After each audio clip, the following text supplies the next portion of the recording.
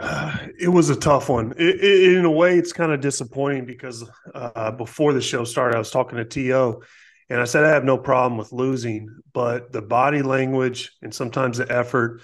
Uh, when you see that lack, it's it's very frustrating as a you know somebody who's watched Carolina since they've graduated. But tonight, when I'm actually watching the game, I thought they had awful uh, shot selection, and I've always said when this team shares the ball and they're getting high assists. They can play with anybody.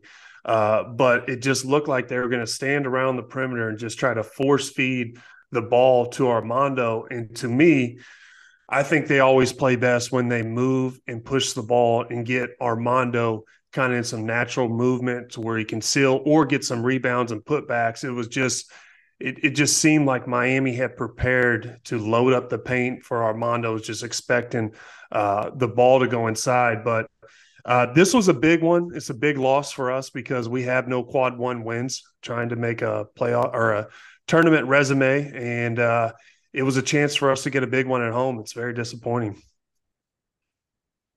You know, I, I think one thing we have to do is we have to create uh, credit Miami's game plan. I mean, what they did uh, off the ball in order to keep the ball out of uh, Armando's hands was really impressive. They really two passes away, they were in the paint they had a guy in front and a guy behind. And the interesting one to me was they would bring guys off the bench, and Jordan Miller would some guys sometimes get matched up. And I think what ended up happening was Miami preyed on the fact, and when I say pray, I mean P R E Y, like they're a hawk. They were preying on the fact mm-hmm. that North Carolina doesn't want to give the ball up quickly. They don't want to pop the ball. There, there was one possess. There was one possession uh, early in the second half. It was like finally somebody did. It was Leaky Black. He was on the left forty-five, the far corner. The help was all the way in. He skips it, and Armando, because he's getting fronted, he just continues his seal when that thing skipped, and they pop it right into him. He gets an easy bucket. The problem is Caleb and RJ aren't doing that. They're not mm-hmm. willing to pass it and make that skip pass quick without dribbling the air out of the ball first. So what happens? They load up to the ball side. They get frustrated that they can't give it to them themselves. And then what happens is is everybody's loaded up and then they really struggle because yeah. then they're driving right into everybody else. So it's like it comes to a point to where you are we, we said this off the air too. You are what you consistently do.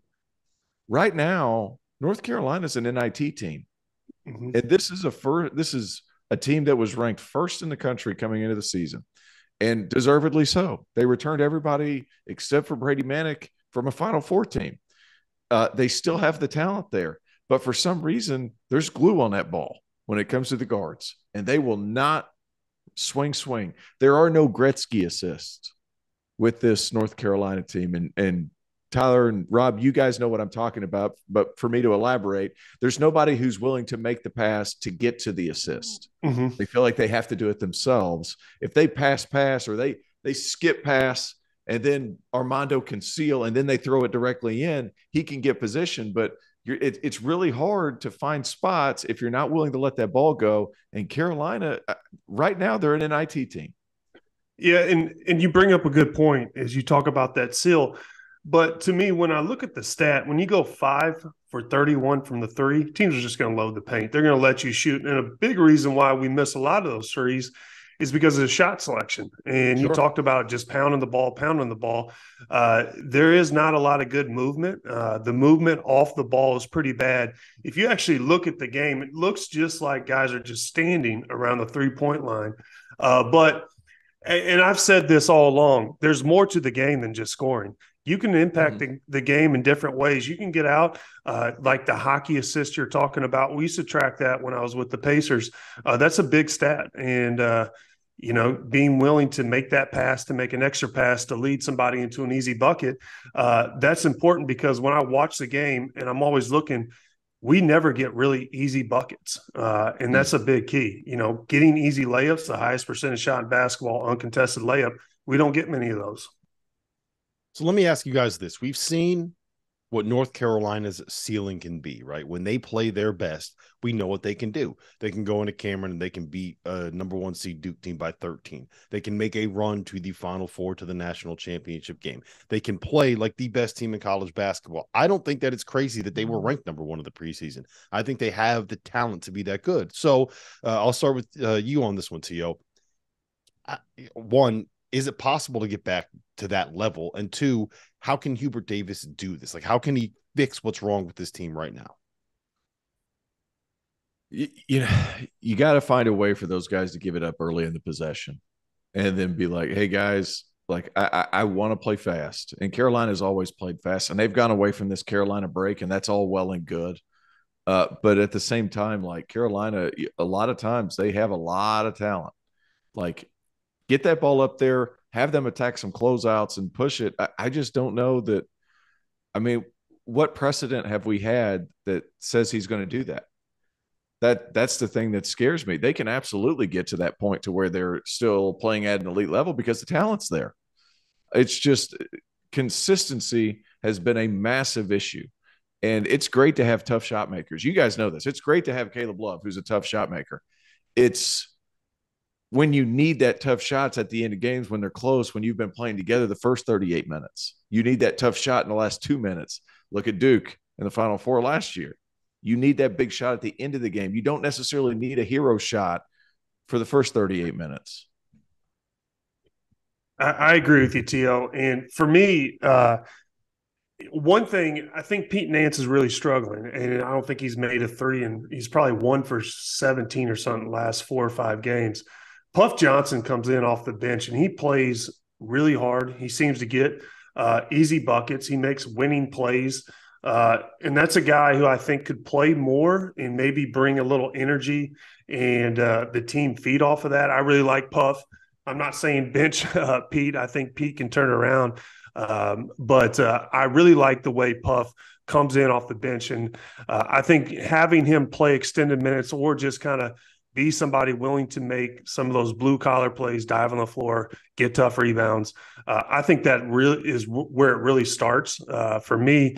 Uh, because I think there's a lot more to scoring, and I think a lot of these guards, especially Caleb, maybe RJ, are putting too much pressure on themselves to score big, uh, and they're living and dying by how many points they have. I think if you just spread the ball, quit worrying about your points, easy buckets will come, and then things will start opening up. You know who I right. who I like in that lineup, who they who they put in for a few games, and I thought like, hey man, this fits. Like Seth Trimble. I thought when he played with both RJ and Caleb Love, like it added a ball mover. They don't necessarily have a ball mover. And then they played Leaky Black mm. at the four with Armando inside. And then all of a sudden, Trimble's taking the ball up the floor and he's bringing it with pace and he's willing to let it go. And then those guys, because that happened, they feel like they're included. They're willing to let it go. And then the ball started moving some more. But when Pete Nance got back, it was like, well, we got to play him. We got to play him. He, he brings a lot of stuff. You know, maybe you could lighten the load on Armando and play Pete Nance at the five a little bit. It's just it doesn't seem like it's worked. And Pete Nance has played at a place at Northwestern where they move the ball a little bit more. That's where he had success. This year, it's just it doesn't fit right now. They need somebody to inject some energy by by pushing the ball up and letting the ball go first. They don't have that right now. Yeah, and that's a good point because Jeff, uh, when we were on here last time, he talked about Carolina looked like they're playing AAU ball a little bit.